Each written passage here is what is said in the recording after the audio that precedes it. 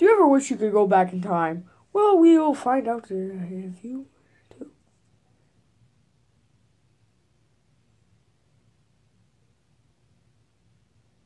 do.